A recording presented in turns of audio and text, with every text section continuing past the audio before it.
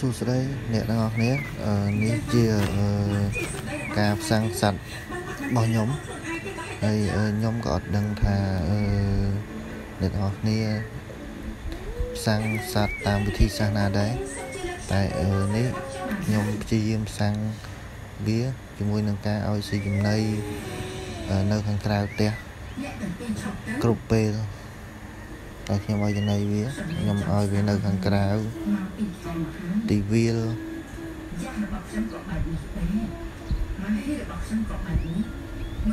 ហើយនេះជាសកម្មភាពឲ្យចំណីតែដោយសារ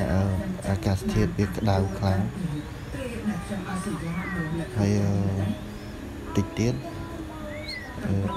ខ្ញុំបាញ់ទឹកឲ្យចំណីវាហើយខ្ញុំបាញ់ទឹកវាឲ្យវាត្រជាក់ខ្លួនបន្តិច ហើយភេទសត្វនេះបើអ្នកលេងសត្វគេស្គាល់ទេភេទជាភេទសត្វអឿនអិនហើយខ្ញុំអឺទិញគេដែរទេនេះទិញពីបងប្អូនអ្នកលេងសត្វយើងហ្នឹងនៅ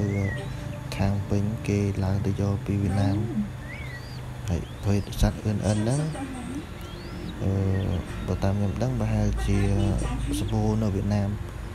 តែខ្មែរយើងនឹងអត់សូវសបូទេថ្ងៃនេះខ្ញុំយកមកបាន2ថ្ងៃទាំងហ្នឹងឯងវាយកមកដំបូងវារៀងកាចដែរតែឥឡូវខ្ញុំព្យាយាមឲ្យចំណៃវាឥឡូវវារៀង សាំងមួយយើង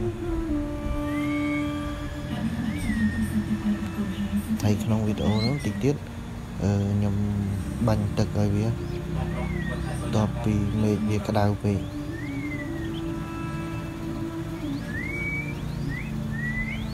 លោកលោករវីបានរៀបចំគម្រោងទីក្រោយសង្ឃឹមថាជួយបបានពួកបែបប្រចុះ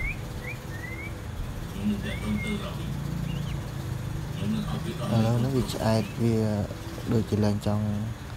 ស៊ីចំណីហើយ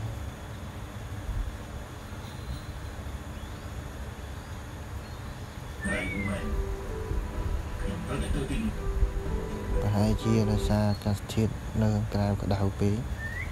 នេះខ្ញុំឲ្យវាស៊ីចំណីប្រហែលជាម៉ោង10កន្លះអញ្ចឹងប្រហែលជាវាអាចក្តៅវាអត់សូវស៊ីចំណីច្រើនហើយប្រភេទចំណីវា យើងឲ្យវាស៊ីដូចជាសាច់កដុលកូនមន់កូនមន់កសកម្មឬមួយក៏សាច់យើងអាចដើររកខ្លួនឯងដូចជាសាច់លោកសាច់ព្រាបសាច់អីក៏បានដែរជាតាវៀងតែសាច់ជ្រូកនិងសាច់គោទេបើយើងឲ្យវាស៊ីសាច់ជ្រូកសាច់គោរងថ្ងៃវាសុខភាពវាអត់សូវល្អ វាអត់សូវធន់នឹងជំងឺផ្សេងផ្សេង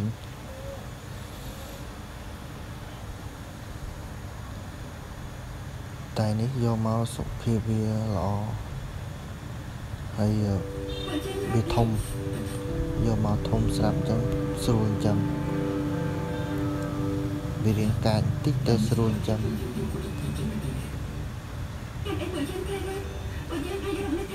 ខ្ញុំ ដាក់វានៅហាលថ្ងៃនឹងចោលសាឲ្យយើងឲ្យវារូមហើយនឹងដៃជើងវាអីហ្នឹងវារឹងមាំប៉ុន្តែបើយើងហាលថ្ងៃវាយូរពេកអាច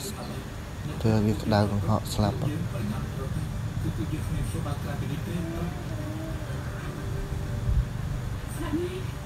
ហើយនេះ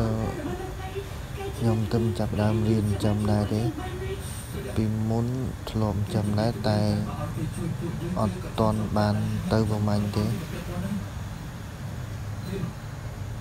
នេះចឹងនេះជាលើកទី2របស់ខ្ញុំខ្ញុំចាំវាចាំមើលថាវានឹងអាចចេញប្រមាញ់នៅប្រហែលខែក្រោយនេះខ្ញុំបាញ់ទឹកឲ្យវាវា ក្តៅខ្លាំងពេក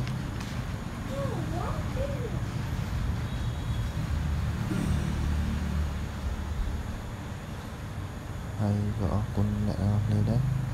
ដែលមើលវីដេអូហ្នឹងហើយជួយ Subscribe ផងខ្ញុំនឹង